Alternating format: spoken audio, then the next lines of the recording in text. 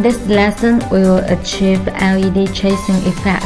First, let's do the wire connection according to the connection diagram.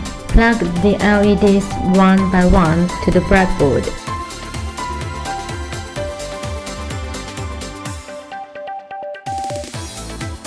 Connect the positive ends of 6 LEDs to D2 to D7 one by one.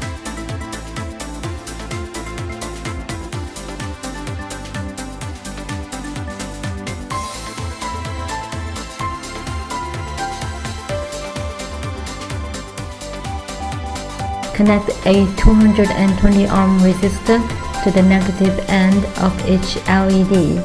Connect the other end of the resistor to ground row of the breadboard.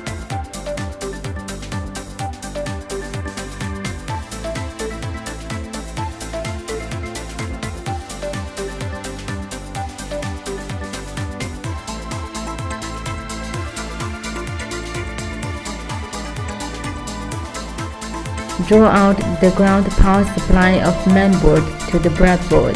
After wire connection is done, let's upload the test program to the board. Connect your Uno to computer with a USB cable.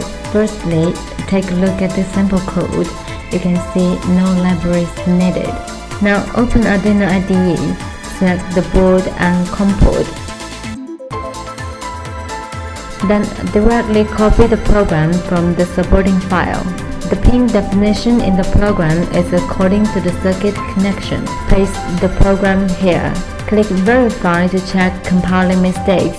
If codes are correct, click Upload to upload the program to the board. Now you can see the LED chasing effect. Beautiful, isn't it? Test is now complete. Thank you.